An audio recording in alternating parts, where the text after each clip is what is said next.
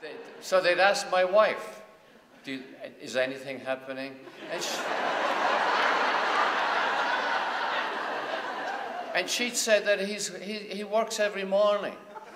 And uh, they didn't know. She didn't know. I, I, I, had this little room in a little barn in Connecticut, and I would sit there looking out the window, envying the ducks, and, uh, their, their carefree existence.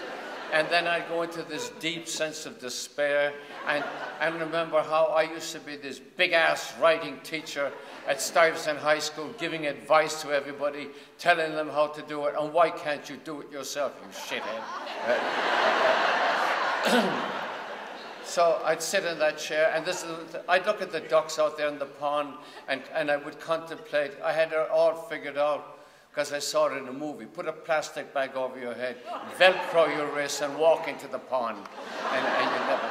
This, this is how far I went. I, will never finish this damn thing. And various things happened in between. I'm, I'm telling you this because, because uh, it's the life of the writer. I want to get to the, right, the life of the, of the teacher in a minute. The life of the writer, my life in the last few years was, was, was uh, I suppose you'd call it adventurous. But this thing ruined everything. I, I want, I, uh, 'Tis was published in 1999, and I, I could have been free after that. I, could I used to think, what, if I ever made any money, I'd, I'd go off to the south of France, Saint-Tropez, and I'd, I'd, I'd drink my wine and gaze on topless beauties passing by. This, this is what I would do all day. Then I'd have dinner and I'd beckon to one of these topless beauties to come to my bed, maybe a few topless beauties. And I'd have a fine time for myself. No, instead I said, oh, in my airy way, since I did Angela's Ashes and I did 'Tis between 1996 and 1999, it should be a should be easy to do, to do this. I was a teacher for 30 years, and I, I, should just sit down and write your story. That's what I used to tell my students. Just sit down and write your story. Begin at the beginning. Once upon a time.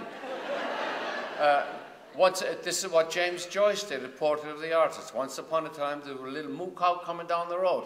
And I was like, well, he, he could what I'm at, James Joyce. But start your story at the beginning. And I tried to start my story at the beginning on my, the first day of my teaching. But then I said, I have to lay some groundwork. I have to tell the reader what kind of person I am, what a pathetic creature was standing in that classroom on that first day. To show, uh, to show the, the, the public that teaching is more than walking in there and standing up and saying, All right, now, boys and girls, today we're going to talk about Chaucer's use of the semicolon. and, and,